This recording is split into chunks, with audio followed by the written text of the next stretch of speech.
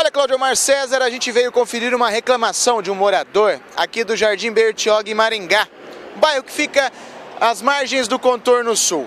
E no local, exatamente 6h35, na hora marcada com ele para fazer a reclamação de que neste ponto do contorno sul os excessos de velocidade acontecem, veja só, parecia que ele estava adivinhando.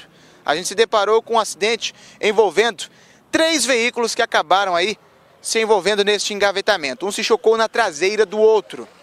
Segundo o morador, Evandro é o nome dele, aqui precisa mais sinalização, redutor de velocidade. Como a gente acabou de conferir, os acidentes acontecem com frequência e a, a, a imprudência é o principal motivo aí, né? Muito. O excesso de velocidade, Sarandi sentido aqui Maringá, os carros descem muita velocidade, do lado do contorno para cá, você pode reparar e filmar que é difícil, principalmente com a travessia de um lado para o outro, mãe com criança no colo, levando as crianças de manhã. É muito difícil a travessia aqui de carro, moto, bicicleta, pedestre, muito difícil a travessia. O que, que vocês aqui do bairro estão reivindicando que seja feito neste local?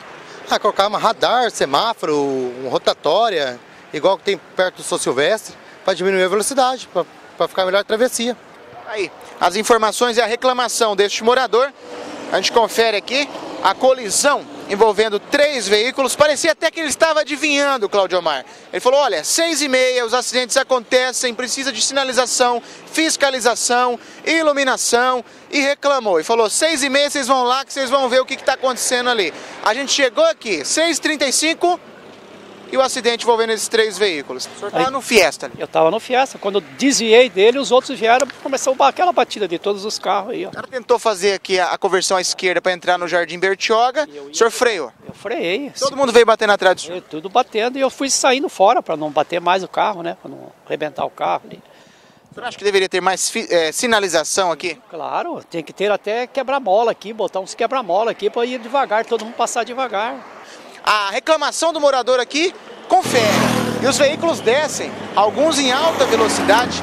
A velocidade máxima permitida aqui na via é de 60 por hora, mas alguns carros, alguns caminhões ultrapassam facilmente os 100 km por hora. Eu trabalhei com imagens de J Fumaça, do Contorno Sul em Maringá. Fábio Marigo para o Maringá Alerta.